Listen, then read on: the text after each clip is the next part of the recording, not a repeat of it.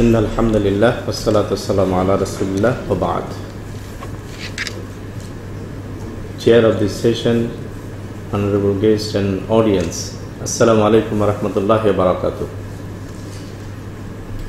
Uh, I would like to present within a very short time entitled Preserving the Human Rights of Minority Study. Uh, dear audience, we know that minority is a buzzword in the international intel- uh, intelligence here.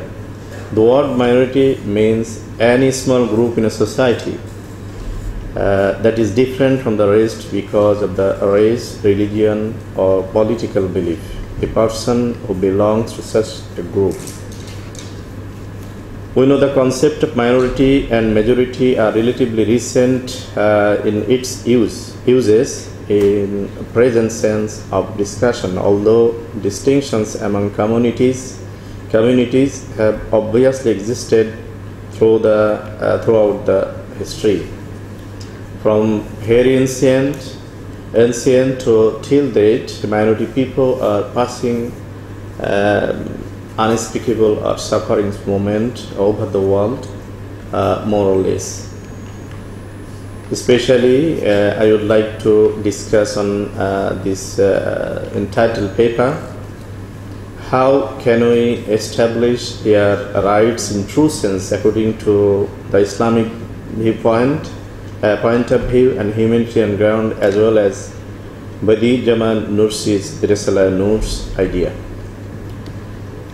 Islam and human rights of minority, in a nutshell, uh, I would like to uh, uh, present in front of you the Islam is a religion of mercy to all people, both Muslim and non-Muslim, religious and non-religious people.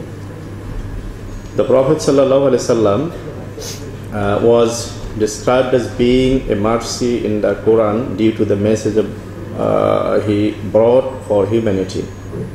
Allah subhanahu said, eh, Qul ya yuhannas, inni rasulullah ilaykum jamia. I, you are the uh, mercy and symbol of uh, mercy for the humankind, not only Muslim or not only religious people or followers of Islam.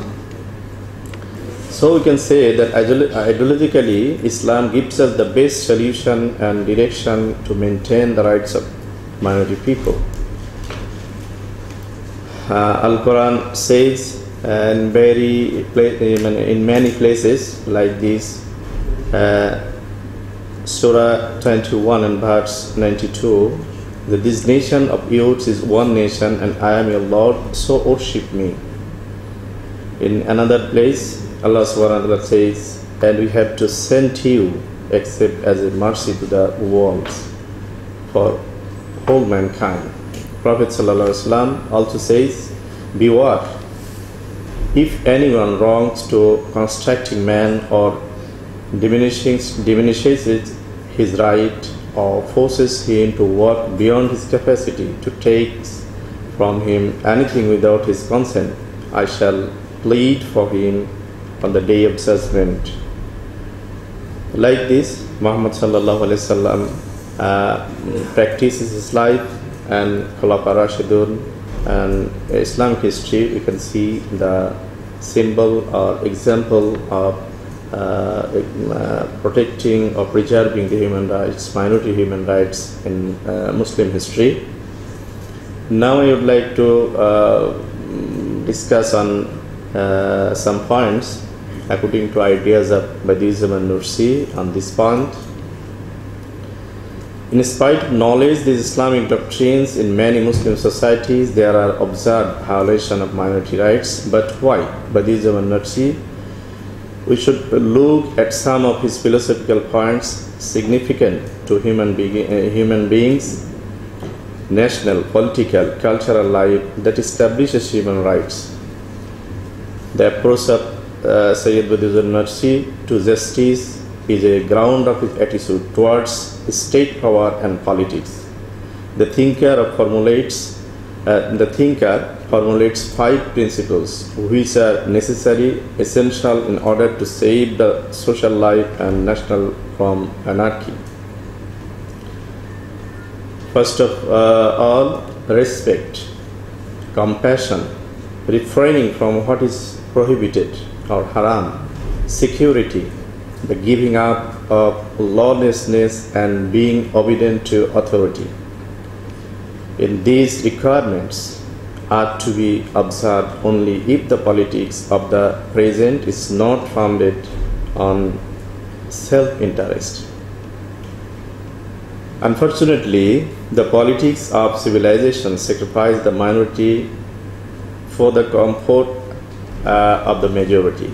Indeed, the uh, despotic minority sacrifices the majority of people for themselves. Politics, which resolves around benefit, is savagery.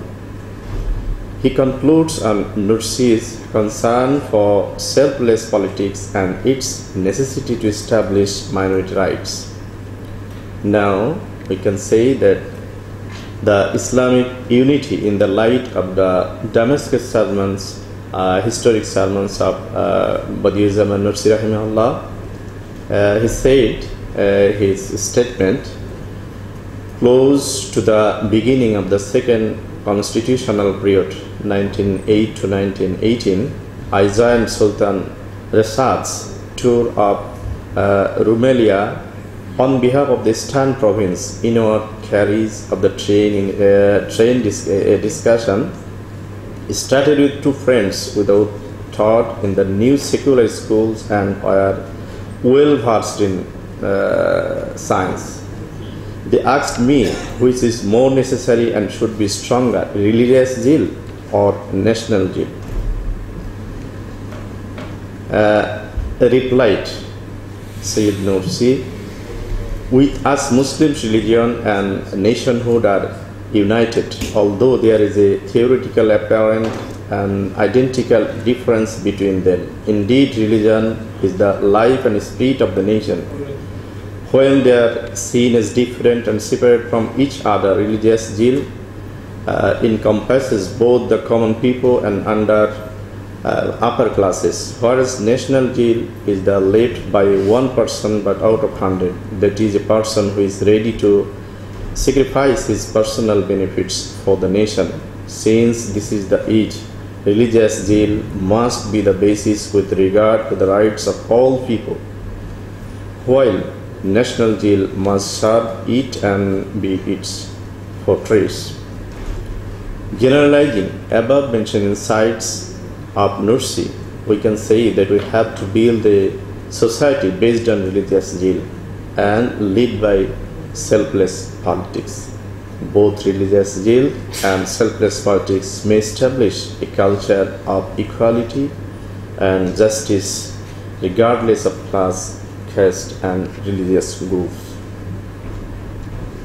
Uh, way of the maintaining the minority rights, I'd like to say that uh, there is no doubt that minority rights are achievable, but those are not to be gained effortlessly. So we work hard to establish a culture of selfless politics and true religious zeal, which is perhaps absent from our society, as well as self-determination of minority people is very important.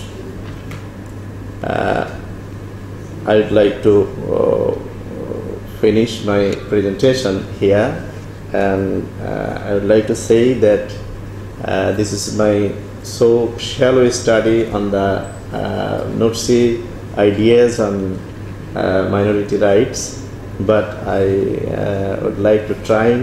Um, I would like to present a, a little presentation in front of you. Jazakallahu khair. Thanks to all. Assalamu alaikum.